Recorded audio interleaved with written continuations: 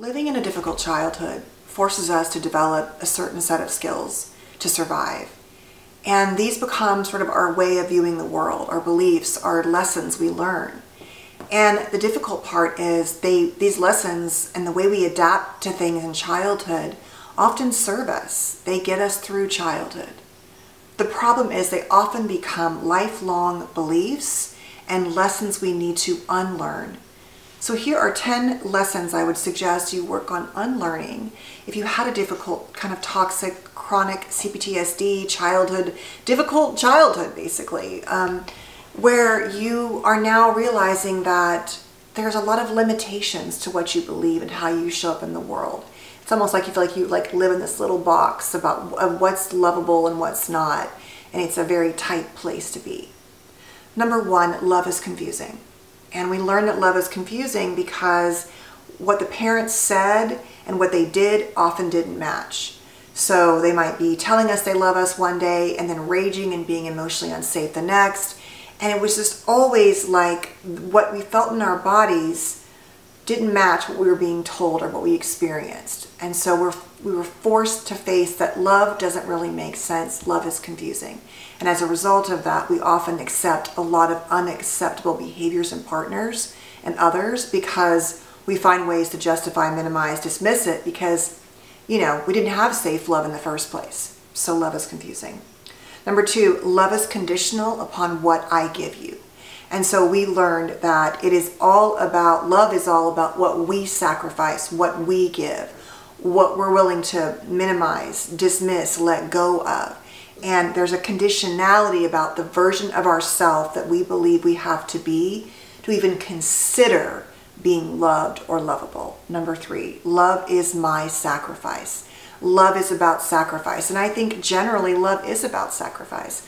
But in a very complicated kind of childhood, the sacrifice is always for us. I have to let go of my feelings because you had a bad day. I have to forgive you because you didn't mean to do what you did. It's always our sacrifice, which often is because these kind of parents didn't have any real ability to own their behavior, shift it, change it, make repairs, and that there was no real reciprocity. It was kind of a one-way street. Number four, bad behavior can always be justified. So no matter what happens, we have learned to dismiss and make bad things okay. Now, it might be that your partner doesn't spend time with you and they work and they make a lot of money. So you're like, oh, well, that's what they have to do. But meanwhile, you look around and your other friends who have husbands or wives or partners who work the same jobs or make the same money actually participate in the family. Or you justify the way your parent talks to you because they have trauma and they can't help it. Or you justify that the partner had an affair because it was your fault because you didn't do X, Y, and Z. Whatever it is, you always find a way to justify or minimize other people's bad behavior. While you never excuse yours, you hold yourself to this ridiculous standard. When it comes to others, you always end up telling yourself, well, that's just, that's just, that's just how it is. Number five, I don't deserve safe love. Deep in your heart, if you did not have an emotionally safe childhood, more often than not, the wiring is that there's no such thing as safe love. And I certainly don't deserve it because what child, what little person doesn't deserve safe love? And so you go into every situation already from the position, already from the position of that, I don't deserve your safe love. So I can tap dance to get it, I can sing to get it, I can love you more, I can forgive you, but when it comes to expecting you to generally show up in a safe, loving way, I don't expect that. And that can be with parents, partners, whatever. Number six, it's always my fault. So oftentimes because of our requirements of compulsive caretaking, parentification, enmeshment, compulsive caretaking, I think I said that too fast, um, we basically think that everything is our fault, right? It's our fault if the parent had a bad day and they yelled at us. It's our fault if our partner was expecting us to do something one way and we didn't. It's our fault if we walk into a room and people act kind of weird, like if we did something wrong. People are mad at us. Like whatever it is, we are the center of the, of the negativity. So whatever happens, it's our fault. Number seven, people who love you will hurt you. And this goes back to what I was saying in the beginning, that oftentimes love is confusing. And so deep down inside, we believe that love is supposed to hurt. And so unconsciously we go out in the world and we seek partners who we believe are going to heal us. But deep inside our, under, our underlying fundamental belief is that, well, yeah, like love is supposed to hurt. Number eight, being alone is the only way to truly feel safe. Now, this might be because of your feelings, because of your sensory issues, because of your hypervigilance. But at the core, because of these childhoods, the only time we feel completely safe is often when we're alone for different reasons, like I'm saying. And so we often isolate, and isolating becomes our number one strategy.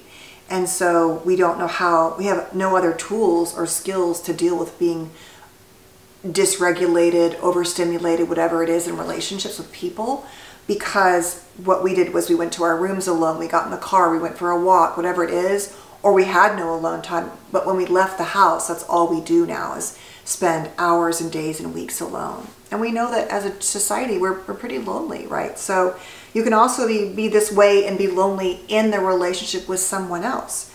But no matter what, it's like I'm always this little person unto myself to deal with whatever's happening with me. Number nine, emotions aren't real, aren't valid, aren't safe. So some kind of injury happened around too much emotional expression, not enough emotional expression, whatever it is, emotions aren't a place we feel safe. Either they feel scary for us, overwhelming, or we avoid them, avoid them and numb them, or we take too much and then blow and then we feel shame about ourselves. Whatever it is, emotions are not a safe place and we don't often have the tools to really um, understand, communicate, and express them to ourselves and others.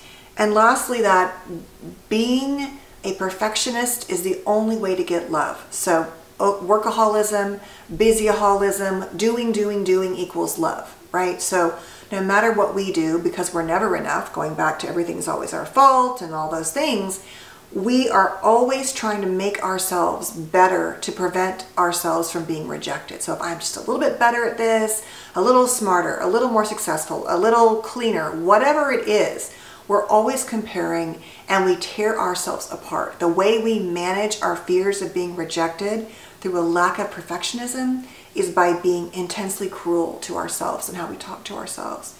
And those lessons can keep us, if we don't work on these, and there are more, but these are often the core. And I think if we don't work on these, what we're really walking around carrying is the belief that love is meant to be um, hurtful that no one is trustworthy, and that being shame filled is how we should expect to go through life.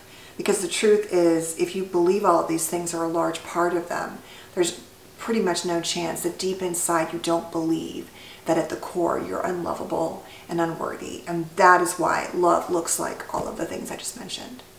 So those are all really important. And of course, things like trauma therapies, identity work, learning how to manage the dysregulation in your body through nervous system regulation skills, learning how to challenge your core beliefs, setting up boundaries with people, practicing saying no and saying yes, looking at, you know, who am I? What do I believe? And even going back to videos I made last week about, you know, do I live in a fear of abandonment? Do I live in this place where I don't really know who I am?